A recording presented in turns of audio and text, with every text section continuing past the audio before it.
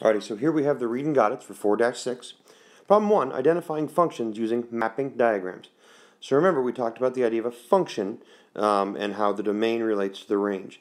So says identify the domain and range of each function. Represent the relation with a mapping diagram. Is the relation a function? So obviously here we have you know the uh, we have some xy sets right here, some relationships. So 2.05, 0, 2.5, 4, 6.5, 5, 2.5. So if we list all the domains, again, that's taking all the x's, negative 2, 0, 4, 5, writing them here. And then the ranges, or the y's, 0.5, 2.5, 6.5, 2.5, putting them here. So we have the domain and the range. And we list them in order. Now, we look here and we drew the mapping diagram. That's this part. Represent the relation with a mapping diagram. So I draw arrows. The negative 2 goes to 2.5, the 0 to the 2.5, so on and so forth. Now, here's the thing. Um, each domain only points to one range. Now, yes, I do know that 5 and 0 both point to the same range, but they still each only point to 1. Now, this is not a one-to-one -one function, but it is a function because each domain only points to one range. Now, example B here, um, again, listing them out. Uh, listing out our domains in order 4, 5, 6, right? So 6, 4, 6, 5. And the ranges 5, 3, 4, 8 in order 3, 4, 5, 8. And then again, we do the mapping. So 4 points to 3, 5 points to 8, but 6 points to 4 and 5. Now, because a single item in the domain points to two things in the range, that means it is not a function. Again, the difference is over here yes, I have two different domains that point to one range, but over here I have one domain that points to two ranges. It's an important distinction to make. That makes B not a function. Alrighty, an example on the next slide. So like just like in the last slide, it says identify the domain and range of each relationship. So do that first. So you go through and take all, so for, for A, take all the X's, right? Right there, and you write them here in a list. And then you take all the Y's, and you write them here in a list. So now I've identified the domain and range. And you do have to do this on my test. Then on my test, I'll ask you, um, is it a function? Now, I won't tell you you have to represent it with a mapping diagram, but I'm telling you right now, it'd be a good idea, because then you can see the difference. So here, I can see that 4.2 points to two of them. So one domain points to two ranges means it's not a function. Likewise with B, again, I list them out, 1, negative, negative 1, negative 2, 4, and 7 and I write them, you know, write them here in domain. And then I take all the y's, 1, 2, negative 4, negative 7, I put them in a list, that's the range. Again, you will have to do the test. Then I'll say, hey, is it a function? So you map them out. So notice up here that negative 2 points to 2, negative 1 points to 1, so again, they match up, right? Um, and then 4 to 4 and 7 to negative 7. This is a function because a single domain item does not point to 2 on the range. So there you go, that is a function. This is very similar to a test question. So besides the mapping we did in the last slide, another way, another way to identify a function is to use the vertical line test, which I think I've already alluded to in class, and it was on your vocab. So what that means is you take your list of points and you plot them. So negative 4, 2, right? So negative 4, 2. Uh, where's that? Where's my, oh, there we go. negative 4, 2 up here, right? Uh, negative 3, 1, so on and so forth. And you plot each of them.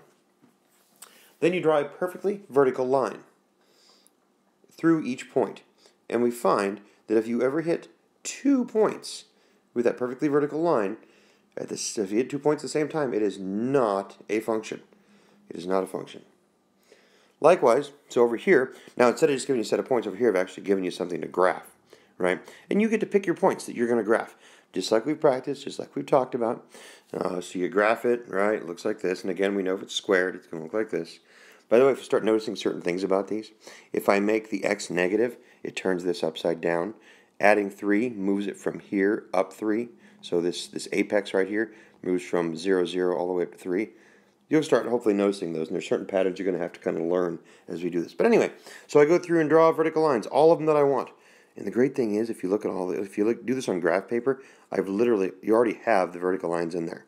And if any of them goes through two points, then you do not have a function. But this one, that does not happen. So the vertical line test, it passes the vertical line test, and we find out that this is indeed a function.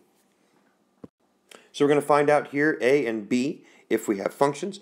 We're going to do that by graphing these points and using a vertical line test. I've already given you the answer, but I'm going to do it anyway. Just a second, I'll pop them up here. Okay, so um, I've graphed those for you.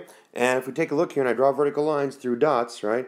So if I go like this, and like this, and like this, literally vertical lines, right?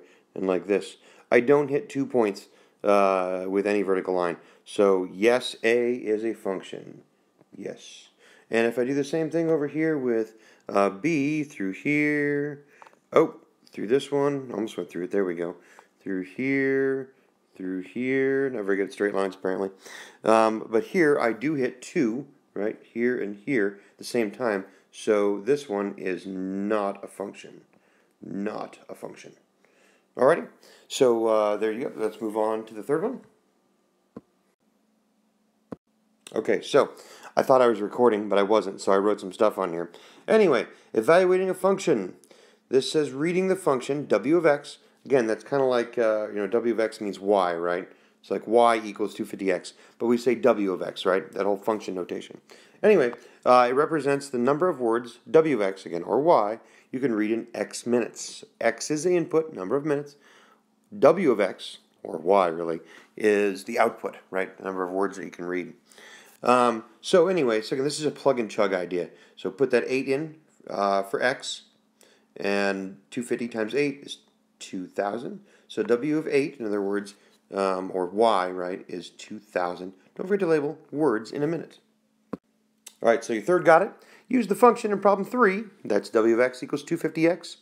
Uh, how many words can you read in 6 minutes? So again, simple plug and chug exercise here.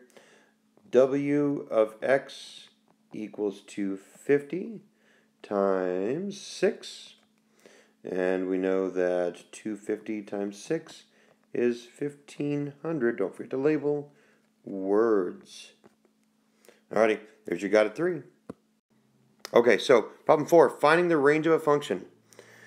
So the domain f of x, I'm sorry, the domain of f of x uh, equals negative 1.5x plus 4 is 1, 2, 3, 4. In other words, they're giving you the x's. They want to know what is the output or what is the range. So this is your plug and chug. So you plug in a 1, right, into uh, negative 1.5 times x plus 4, and you generate 2.5. Plug in a 2, there it is, you get a 1.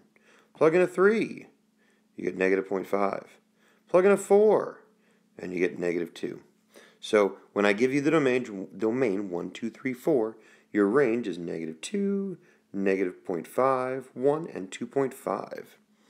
And again, that's just putting them in uh, numerical order. That's obviously not the way they came out up here, right? So kind of reverse order, but there you go. Uh, so how to find the range? Plug in each of the domain, and there you go, and you get ordered pairs. Okay, so here we have um, g of x equals 4x minus 12. So g of x, remember that just really means y, equals 4 x minus 12. So you're going to start plugging in numbers, right? Plug in a, sorry, plug in a 1. So we're going to plug in here, let me get rid of that uh, line, there we go. So you're going to plug in a 1 first. And so we're going to have uh, g of 1, right, plug between the x there, equals 4 times 1 minus 12. So g of 1 equals 4 minus 12. 4 minus 12 then is negative 8. So g of 1 equals negative 8. And just going to plug in each one one at a time.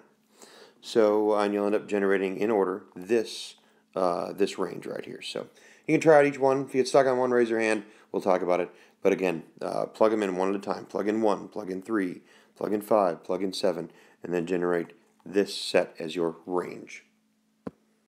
Okay, so Problem five gets the idea of reasonableness of answers, especially your domain and range. Uh, you know, like we always talk about, you can never put in negative time. Um, I guess, like, except for what that uh, that garbage dump problem, where you think about, oh, I can go back in time because they kind of started you mid range. Uh, but otherwise, you can't. You can't uh, put negative people in, right? You can't put parts of people. Uh, you know, things like this. So, painting. You have three quarts of paint to paint the trim in your house. A quart of paint covers 100 feet squared, or 100 square feet. The function a of q, where Q is quarts, equals 100Q represents the area, A of Q, in square feet that Q quarts of paint covers. So again, each quart covers 100 uh, square feet. What domain and, range are reason, domain and range are reasonable for the function? What is the graph of the function? So a couple questions there. First, you know one quart covers, right? And you have three quarts paint. Reasonable domain and range values in the order, so you need to figure that out. And plan, again, find the least and greatest amounts of paint you can use uh, and areas of trim you can cover. Use the values to make a graph. So the least amount of paint you can use is none, right? You can't use negative quarts of paint. So 0 is definitely the uh, smallest number in your domain. So the least value, again, domain is 0. You have only 3 quarts of paint, so the most you can use is 3 quarts. By the way, if you need a fourth quart, you might, might as well buy a gallon, right? The greatest domain value is 3, so the domain, ooh, we like this, right? Uh, some inequality fund, from 0 to 3 inclusive. I don't know why you do 0, it means you do no work. I hate painting, so maybe I'd be in for that. To find the range, evaluate the function using the least and greatest domain values. So a of 0, right? So 100, 0 plugged into there gives us 0. a of 3, the biggest, gives us 300. So the range is between 0 and 300. Now again, you could have easily just put in a y here, but in this case, since we're talking about that whole function notation, put in a of q. To graph the function, make your table. So 0, 1, 2, 3. And this one does make sense to be a continuous function because you can literally put in 1.5 quarts. You could put in a couple of drops, right? Whatever, I guess it would be. Um, yes, this doesn't really account for the whole idea of you know how much uh, paint is sucked into the paintbrush and things like that, but we're not going to worry about that in this problem. But again, 0 yields 0, 1 yields 100, 2 yields 200, 3 yields 300. And there's a graph of that function. Alrighty, so got it 5. If you have 7 quarts of paint, it's the same problem. What domain and range are reasonable for problem 5? Same thing. Um, you plug in everywhere from 0 this way all the way down to 7 quarts. Again, once you hit that gallon mark, though, to save some money, you probably want to, you know, buy gallons instead, but it's still 4 quarts. So, A of Q equals 100Q. Plug it in. 0 is still 0. 1 still gets 100. 2 still gets 200. All the way down to 7 gives you 700. So the domain is from 0 to 7, right? Can't go beyond that because that's you don't have more. You can't go below that because you can't take paint off the wall, I don't know, whatever. But anyway, uh, then your range yields everywhere from 0 to 700. Again, notice inclusive is the idea. Part B of this we already talked about. Why does it not make sense to have a domain value less than 0 or greater than 3 in problem 5? Because again, in this case, you can't use less than 0 quarts of paint, um, and you can't use more than the 3 that you have. And in this one, you couldn't use more than the 7 that you have. There you go, domain and range with a function.